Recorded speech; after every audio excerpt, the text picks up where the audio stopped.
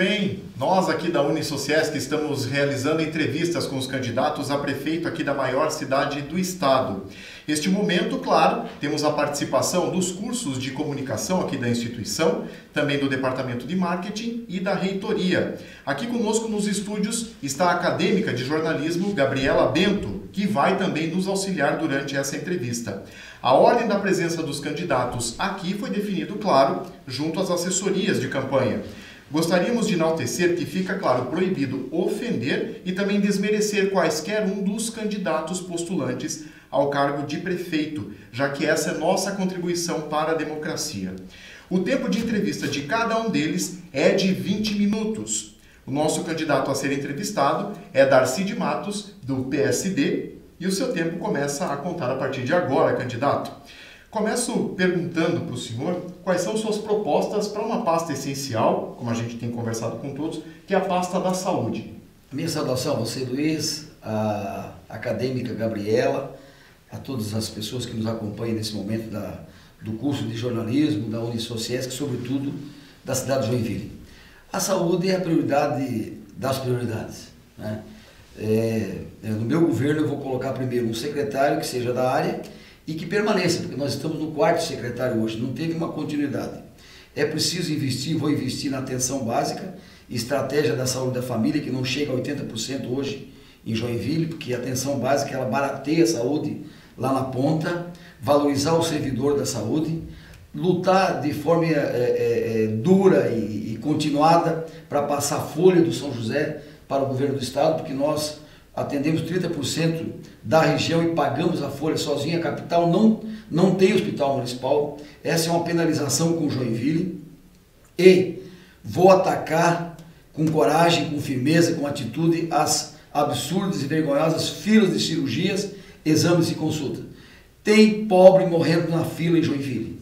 Isso eu não vou admitir. Vou comprar serviços das clínicas particulares, hospitais particulares, mas o joinvilense tem que ser cuidado com carinho, com amor, ele tem que ser bem tratado, bem assistido, sobretudo na área da saúde, que é a essência. Quer dizer, o, de mais importante que o que Joinville tem são as pessoas. Portanto, a saúde terá uma atenção especial no meu governo. Perfeito. A pasta da educação também. O que, que o seu plano de governo... Primeiro, vou despolitizar a Secretaria da Educação. Hoje nós temos um secretário vereador, vereador secretário. Gente, Educação não casa com política partidária. Vou colocar um especialista na área e vou é, promover junto com a Univille ou com a Unisociesc ou com as demais universidades qualificação e requalificação dos professores, o que é fundamental, porque com a entrada do 5G, com o avanço da inteligência artificial, nós precisamos estar todos é, é, qualificados, treinados na abordagem, no conteúdo que a gente vai passar para as nossas crianças, que são as, as nossas futuras gerações né? E, e vamos fazer de Joinville uma cidade bilíngue, dando inglês já na educação infantil. E vou atacar o déficit de 10 mil vagas da educação infantil, comprando vagas das, dos centros de educação infantil particulares e comunitários. Não é justo que mãezinhas pobres eh, não possam trabalhar ajudar na renda familiar porque não tem onde eh, deixar suas crianças. Portanto, a educação é também uma prioridade absoluta. Todos os países que se desenvolveram investiram pesado na educação. Perfeito. Gabriela. Candidato, um dos assuntos mais recorrentes aqui em Joinville é sobre o transporte coletivo. Quais são as suas propostas para essa, para essa área? Vou fazer aquilo que prometeram e não, e não fizeram, e não tiveram coragem. No ano que vem, vou fazer a licitação do transporte coletivo de Joinville. E quem não se enquadrar está fora. Aliás, Blumenau, alguns anos atrás, trocou as empresas de ônibus. E funciona muito bem. Por quê? Porque com a licitação eu vou exigir no edital ônibus mais confortáveis, mais linhas, um preço racional e, sobretudo, é, aplicativo e um sistema mais é, moderno, porque nós temos que incentivar os trabalhadores a utilizar o transporte coletivo. Isso melhora de forma significativa é, a mobilidade da cidade. E vou tirar os ônibus do centro da cidade. Já falei isso, os ônibus vão passar na Beira Rio, na JK e na João Colim. Aonde? Em terminais modernos, climatizados, pequenos terminais, similares aos de Curi, os, os pequenos terminais tubo da cidade de Curitiba, porque nós vamos revitalizar o centro, vamos fazer através de uma PPP ali, um mercado municipal, reurbanizar o anel central e fazer um centro na linha do centro de Paris, um centro sustentável, moderno, é, para fazer com que as pessoas voltem a visitar o centro, preparado para pedestre e ciclista, depois para o ônibus e o carro, como diz um amigo meu, que se dane. Porque esse negócio de cada família ter 3, 4, 5 carros, isso é coisa do passado. Tenho certeza que as minhas netas não vão querer comprar um carro mais quando fizerem 18 anos. Nessa o mundo linha, mudou. Perdão, nessa linha de mobilidade urbana que o senhor está falando, né? Vai ter alguma alteração concreta?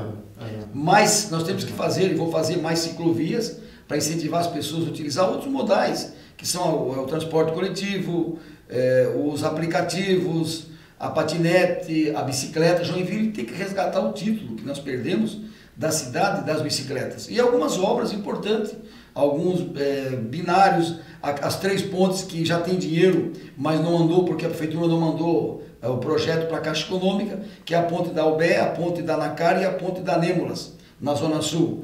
E vou é, abrir duas avenidas. A Otocar para fazer uma entrada bonita, que Joinville merece, a altura de Joinville, com dinheiro das minhas emendas individuais, emendas individuais do deputado federal Rodrigo Coelho e do Ricardo Guide. Já tenho 20 milhões para essa obra. E vou abrir também a Almirante Jaceguai, com recursos, com 15 milhões, 7,5 das minhas emendas coletivas, 7,5 das emendas coletivas do deputado federal Rodrigo Coelho. Portanto, e o restante? O restante eu vou buscar a fundo perdido em Brasília, porque eu conheço os ministros, eu conheço o presidente, eu tenho relacionamentos em Brasília. E lá vou ter o Rodrigo Coelho, que vai continuar em Brasília, é, é, com a sua experiência, com as portas abertas, para nós buscarmos dinheiro para melhorar e reconstruir Joinville. A mobilidade nós vamos mudar com certeza. Perfeito, Gabriela. Essa área ainda, candidato da mobilidade urbana de Joinville, também muito se fala sobre a pavimentação. Quais são suas propostas para a revitalização, a, re, a pavimentação aqui Joinville, da cidade? Absurdamente e vergonhosamente tem 600 quilômetros de rua sem asfalto.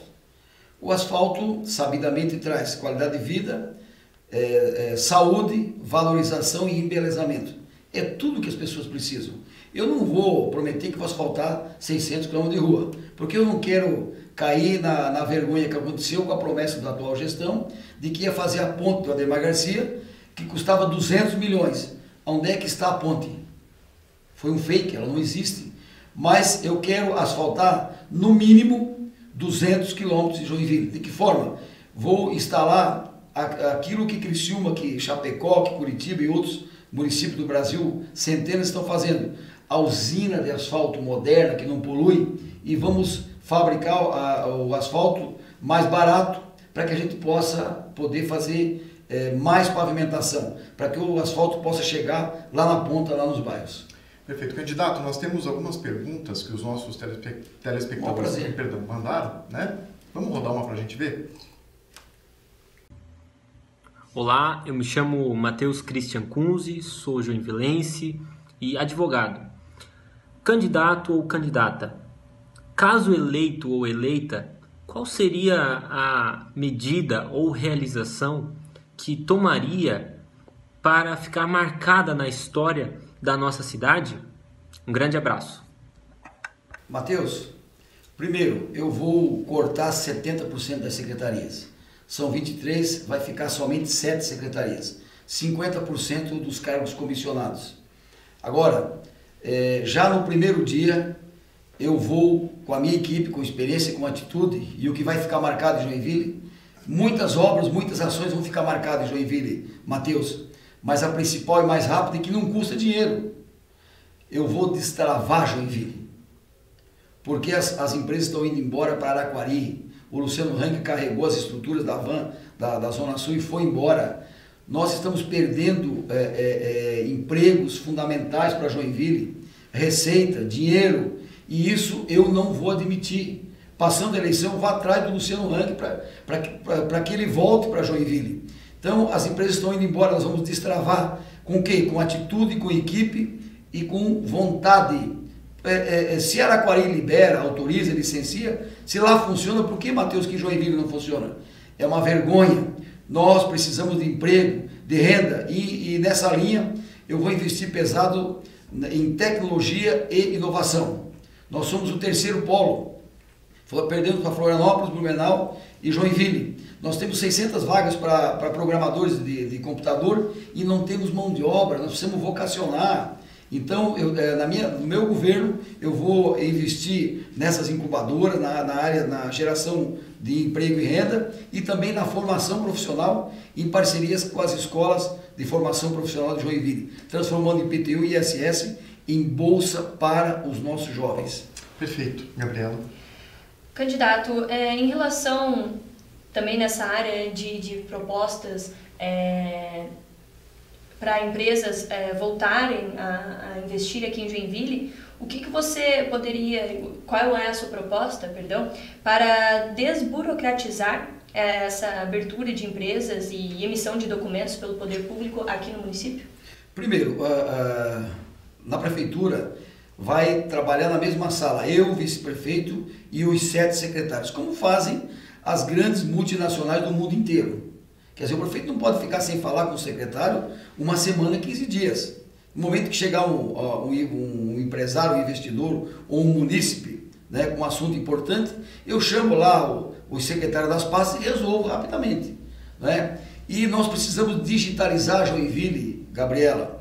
Joinville ainda está na fase do IPTU, do carnê impresso, que coloca debaixo da porta das pessoas. Isso é jurássico, isso é antigo, isso custa. Enquanto centenas de municípios no Brasil pagam e resolvem no smartphone.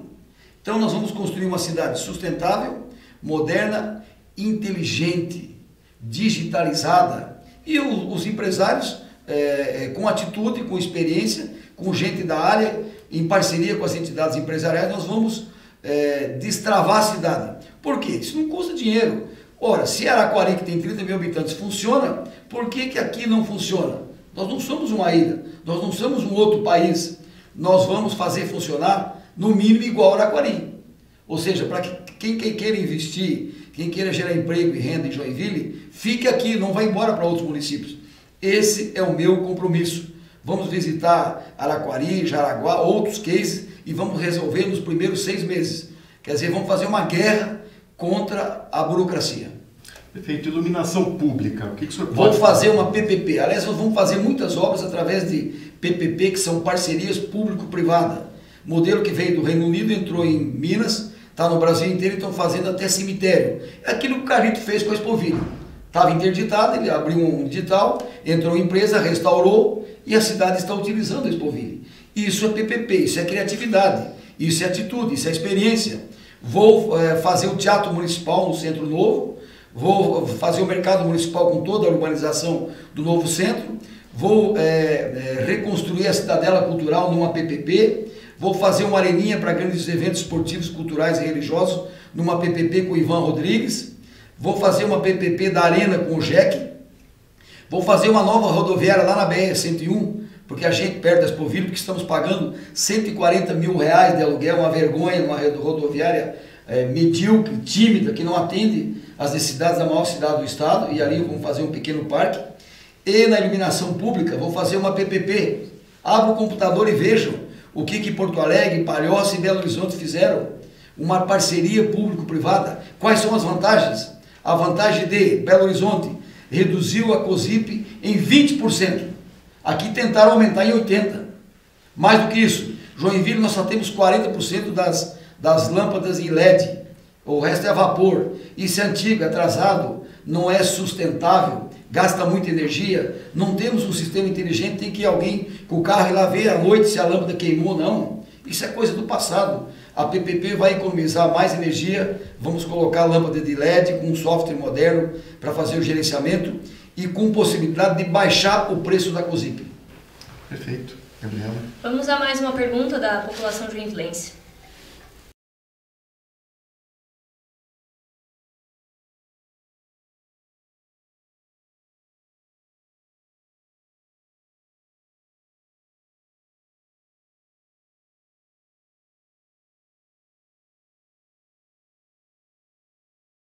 Lorena, é, há poucos dias foi é, aprovado a lei de minha autoria e regulamentada através de, de decreto do governo do estado, a lei do mecenato estadual da cultura. Eu sou autor. Essa lei é a redenção das atividades culturais, das pequenas iniciativas, principalmente do estado de Santa Catarina. Ou seja, aquele grupo de teatro, de dança, o, o escritor, o poeta, ele pode visitar a empresa do seu quarteirão, pedir um patrocínio e essa empresa deduz do ICMS, que é o imposto do estado, e passa para o projeto cultural. Essa lei é de minha autoria. Vamos reconstruir é, a cidadela cultural, transformando aquele espaço num espaço cultural, gastronômico e comercial. Vou construir um novo teatro municipal através de uma PPP ali na, no local da SDR, daqueles terrenos, colocando Joinville na rota dos grandes eventos culturais. Vou valorizar o Festival de Dança, o Balé Bolshoi e vou, e vou popularizar a cultura, levando a Casa da Cultura para atuar também é, nos bairros. E vamos intensificar o projeto Dançando nas Escolas, que é fundamental. Portanto, vou trabalhar em conjunto com o Conselho Municipal da Cultura. E, primeiro, vou colocar alguém na área cultural que seja do meio, do ramo, que entenda, que seja um intelectual e que possa fazer gestão. Não é, dá para colocar alguém lá que não conhece, que não sabe, porque a cultura é necessária, é, alimenta a, alma das pessoas, é fundamental. Como dizia o Luiz Henrique, um povo sem cultura é um povo sem história, um povo sem identidade, e mais do que isso, a cultura gera emprego e renda, é a chamada é, economia criativa que eu vou incentivar aqui em Joinville. Candidato, nessa mesma linha que a gente estava conversando, o que, que o senhor pode falar sobre lazer e esporte também aqui em Joinville? Lazer sempre foi importante, mas pós-pandemia é, é como nunca. Quer dizer, a saúde e o bem-estar das pessoas é fundamental. A gente precisa se exercitar, buscar alternativas. Então, nós vamos, eu vou trabalhar para fazer um grande parque em Joinville, ou naquela área que seria a Universidade Federal na, na curva do Arroz, ou na região ali do Arataca. E, e não custa caro, Araquari está fazendo um parque. Daqui a pouco nós vamos ter que visitar o parque de Araquari. E vamos com o maior prazer, porque nós não temos. E vou fazer pequenos parques na cidade, como por exemplo aí no local da rodoviária, lá no Casqueiro na Comasa, lá na estação no Paranaguamirim de tratamento de esgoto, que está sendo desativado, tem um milhão de metros quadrados. Lá no Jardim Liriu, que tem lá uma vala imensa de mil metros, nós vamos, nós vamos colocar a galeria, tampar é, e fazer um bulevar, um parque linear, enfim, pequenos parques é, na cidade. Agora, no que diz respeito ao esporte, nós temos que despolitizar a Secretaria de Esporte. Lá está um comitêzinho eleitoral, há muitos anos. E a Secretaria de Esportes ela vai desaparecer com status de secretaria, mas vai per permanecer e vamos fortalecer os programas, porque eu vou deixar sete secretarias. Então, os programas que é fundamental, eu vou acabar com os cargos com a Mamata, com o Cabide.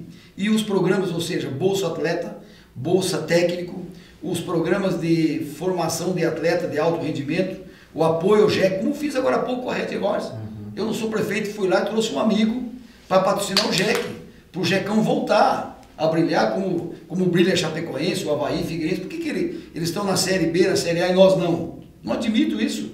Então, buscar patrocínio. Agora, o, a, a ação principal é exatamente o quê? o esporte de inclusão com as crianças, que a prefeitura está fazendo muito timidamente. Esse projeto com as escolinhas de, de várias modalidades, basquete, futebol, judô, karatê, enfim, é, é um projeto barato e que forma o cidadão. Por quê? Porque o esporte é um instrumento poderoso para mudar a vida das pessoas. Perfeito. Gabriela? Candidato, é, mudando agora de lazer e esporte para a parte de, da região metropolitana de Joinville. Muito se fala sobre a área da saúde, que a Joinville atende aí outros municípios, o Hospital São José. Uh, quais são suas propostas para uma criação de uma região metropolitana?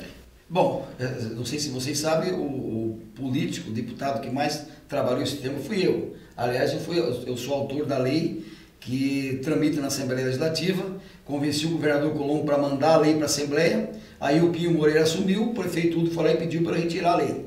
Isso saiu na imprensa, porque eu era o autor. Isso é uma vergonha, porque a região metropolitana é fundamental, porque hoje quando a gente fala em, em resíduos sólidos, transporte, água, esgoto, saúde, nós temos que ter uma visão e uma gestão é, metropolitana, regional, porque as cidades estão todas praticamente conurbadas, tá certo? E, então, o, o, como prefeito municipal, eu vou buscar apoio dos deputados estaduais, porque essa lei ela passa pela Assembleia Legislativa, para que nós possamos criar a região metropolitana de Joinville.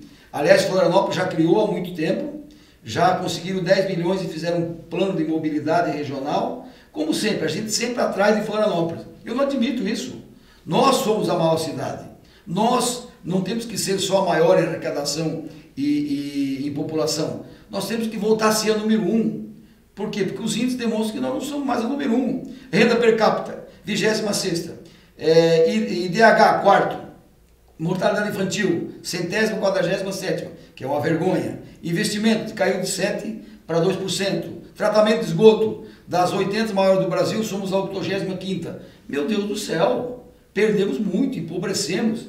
E aí, é, em conjunto com a sociedade civil organizada, com as forças empresariais e com a classe política, nós vamos retomar o crescimento, reconstruir Joinville e construir uma Joinville mais humana, mais feliz, mas principalmente que ofereça oportunidade a todo o nosso povo e a nossa gente. Perfeito, candidato. Um minuto para as suas considerações finais, por favor. Olha, eu estou muito animado, com muita energia, com muita vontade, com muitos projetos, conforme vocês estão acompanhando na rede social, na televisão e nas reuniões que a gente faz, nas poucas reuniões nos bairros, porque estamos vivendo uma campanha diferente. E eu quero um voto de confiança. Eu vou utilizar toda a minha experiência com a minha equipe, com o meu vice Faquini, todo o meu relacionamento que tem em Florianópolis e Brasília, para trazer recursos para nós reconstruirmos Joinville. A cidade está devastada, do centro aos bairros, e isso eu não admito. Portanto, eu peço seu apoio, peço seu voto, para que nós possamos trabalhar para voltar a ser a número um de Santa Catarina. A nossa Joinville, a cidade das flores, a cidade das bicicletas, a cidade do voluntariado e, sobretudo, a cidade das oportunidades. Joinville tem pressa, não é para depois. Joinville é já. Joinville é agora. Darcy de Matos, 55. Grande abraço, muito obrigado. Valeu, muito obrigado, candidato. Esse foi Darcy de Matos, do PSB.